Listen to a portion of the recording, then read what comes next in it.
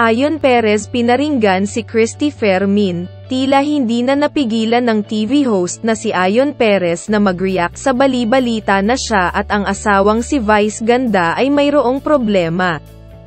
Sa kanyang TikTok account nag-upload si Ayon Perez ng video. Ay, grabe naman yun, no? Halos wala ka na nga boses. Wala pa rin lumalabas na matino at maganda sa bibig mo. Uy, 2022 na. Ilan na lang yung araw sa mundo.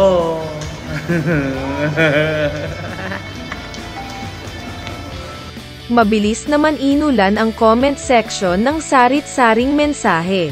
Maraming mga netizens ang nag-mention ng pangalan ng veteran showbiz scribe na si Christy Fermin. Matatandaan na nitong nakaraang araw ng talakayin ni Christy Fermin ang cryptic post ni Vice Ganda sa Instagram. Meron ka bang alam na problema ni Vice Ganda dahil kailan lang, kahapon lang ata ay nag-post siya na napakarami raw nangyayari sa buhay niya lately, mga ilang buwan na ang nakararaan. Meron daw ano, mga problemang kaya niya at Oo. meron ding matitindi na parang bumabagabag sa kanya. May problema ba sa pamilya niya? Iniisip ko nga rin kasi na napapanood ko kasi yung mga live ng mga kasamahan niya na nagbabar na naman siya. Lately, nagbabar na naman siya. Okay. Oo, di ba, eh, napapansin ko, di ba, dahil lagi natin sinasabi, kapag nagbabar yan si Vice Ganda, lumalabas-labas sa gabi, may merong pinagdadaanan yan, may iniisip yan. Gustong maglitang. Oh.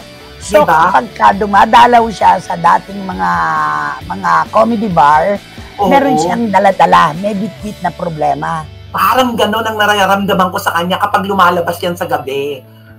Oh, teka muna, kasama ba niya si Ayon Perez sa paglabas-labas niya? Hindi. Mga bakla kasama niya. Ay, alam ko na to. Mm, di ba? Ganyan naman siya dati, di ba? Kapag may problema, naaalala niya ang mga dati niyang kasama. At Ayan. kung hindi niya nakakasama si Ayon Perez, ano sa palagay mo? May problema, ano? Oo, kasi yung sa narration niya, na yun yung pinanonood ko yung narration niya, di ba yung post niya, nagnanarrate kasi siya, di ba, habang nag wala siyang binanggit na ayon sa kabila ng mga pinagdadaanan niya, malungkot masaya, nandiyan ang mga ponies, yung mga tagahanga niya, pinasasalamatan niya dahil nandun daw at na tumututok sa kanya. Nakasuporta sa kanya. At dapat lang naman, mahal na mahal siya ng kanyang mga little phonies. True. Di ba? Nako, eto na nga. Ang dami-dami na nagte-text sa akin. Sa palagay daw nila, ang pinakamatinding problema ngayon ni Vice, kundi man pampamilya si Ayon Perez. Ala. Eh kung ganyan, nalabas yan ang labas, alam mo, ang taong malungkot, naghahanap ng saya sa labas ng kanyang tahanan. Oo. Tatandaan po natin mga kapatid na si Vice Ganda ay tao lamang. Mm. Nakakaramdam po ng saya, ng lungkot, ng gutom, ng puyat, ng pagod. At saka ang mga payaso po, lumuluha rin. Nakikita po natin siyang nagpapasaya ng ating mga kababayan, pero hindi po natin alam kung ano ang kanyang saloobin. Hindi nga ba ang pinakamagaling na komedyante sa buong mundo, si Charlie Chaplin, gustong gusto po niyang maligo sa ulan. Dahil doon lang daw po niya nabibigyan ng pagkakataon ang kanyang sarili na umiyak nang hindi nakikita ng publiko. Di ba? Yes. Yun yung, yun yung kwentong matagal nang nandyan. Oo. Kasi komedyante, ang akala ng mga tao, pag komedyante ka, hindi ka na nalulungkot. Correct. Di ba? At saka naiisipin mo ha, tignan mo ang buhay ha. Na- Post siya ng post na masaya, nagkaka-concert nilang na ang saya-saya, maraming tao. Tapos, yung sa pala sa kabila ng gano'n, na pinopost siyang masayang masaya siya, meron pala siyang pinagdadaanan na iniisip na yun natin. Parang pini- ang feeling ko na yung iniisip ko, parang gusto niya na siguro ano, nakukulangan siya sa trabaho niya. Meron siyang gustong gawin. Nakukulangan sa trabaho. Trabaho niya. Oo. Kasi iba, O So, napapagod na. kailangan- O napapagod na siya sa pagtatrabaho. Pwede rin. Nakukulangan eh, katatapos nga lang niya mag-concert sa Amerika. Kaya nga, di ba? Eto, pinadala ni Boyce Caraga yung eksakto. The past few months have not been easy. In fact, they have been really difficult. Ang daming nangyari sa buhay ko. May magagaan, may mabibigat, may mga masasaya, may mga malulungkot, may mga winning moments at may mga humbling moments. Sa mga pinagdadaanan ko, ilang lang dyan ang nakita nyo at talagang alam nyo.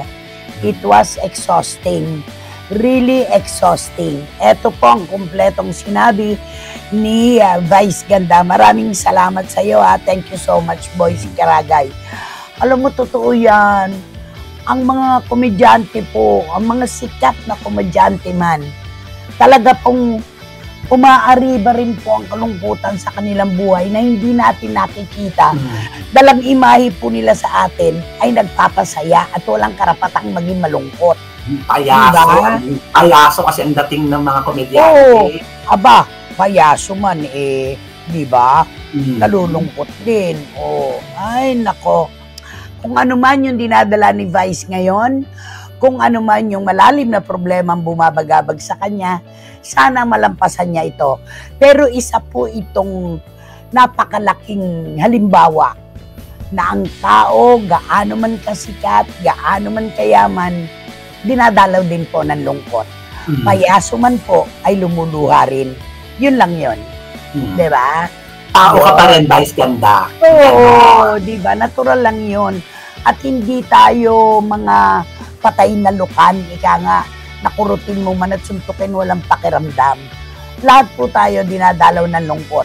Lahat po tayo binabagabag ng mga problema. Wala pong nakasasalba sa ganyang katotohanan. Tao lang po tayo. Hindi tayo perfecto. Yun lang yun. Ang tinutukoy ni Christy Fermin na post ay ang Instagram video ni Vice Ganda kung saan pinasalamatan niya ang kanyang mga taga-suporta. Few months have not been easy. In fact, they've been really difficult.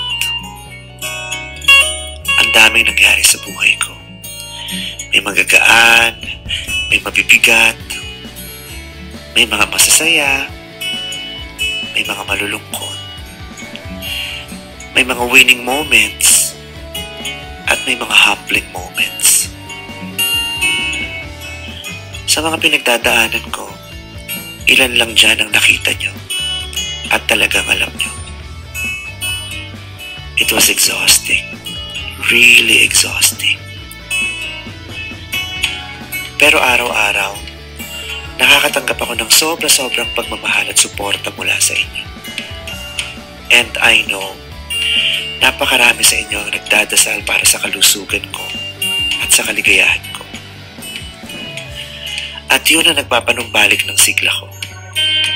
Kaya araw-araw, anuman ang pinagdadaanan, excited ako laging gumising. Kasi sigurado ako, nandyan kayo. At gigil na gigil ako laging pasayahin kayo. Kaya ngayon, bago ako matulog, I just wanna say, thank you very much. And I love you, madlang people. Most especially to you, my little ponies. Good night. Noong isang taon nang magpakasal si Vice Ganda at Ayon Perez sa Las Vegas. Ngayong darating na Oktubre ay is-celebrate nila ang kanilang 4th anniversary as couple. Ah, and dito ako, pero dito talaga ako. Bumbo yung ko. Yan, ah, makasama ka. Wala akong masabi, basta mahal na mahal kita, Tuy. I love you. I love you. Noy, mahal na mahal din kita. At ang saya-saya ko na ikaw ang kasama ko ngayon. Ikaw yung kasama ko kahapon. At ikaw yung alam kong makakasama ko pa rin bukas sa mga susunod pang araw. At yun ang pinagdadasal ko na Lord, sana sa mga susunod na araw, ikaw pa rin yung kasama ko at ako pa rin yung kasama mo. Magkasama pa rin tayo, kapiling yung mga mahal natin sa buhay. I promise na mag-iipon pa ako ng maraming maraming maraming pagmamahal sa puso ko para makaya ko pang mahalin yung sarili ko at para makaya ko pang mahalin ka at pati yung mga mahal natin sa buhay. I promise na Aalagaan ko yung sarili ko. Kakain ako sa tamang oras para hindi ko nang magalit. Aalagaan ko yung kalusugan ko para maging malakas ako. Para mapanindigan pa natin tong sinimulan nating dalawa. I promise na iisipin ko yung katawan ko, yung health ko. Kasi alam ko pag may sakit ako, nalulungkot ka. At alam ko pag may sakit ako, namihina ka. Alam ko pag may sakit ako, nininervous ka. At saka namang problema ka. And I promise to be a better per- person. Every day I will try to be a better person. I will, every day I will try to be a kinder person. At lahat ng gagawin ko sa buhay ko, isa ka sa magiging inspiration ko. At isa ka sa mga pag-aalayan ko ng mga magagandang bagay na mangyayari sa buhay ko.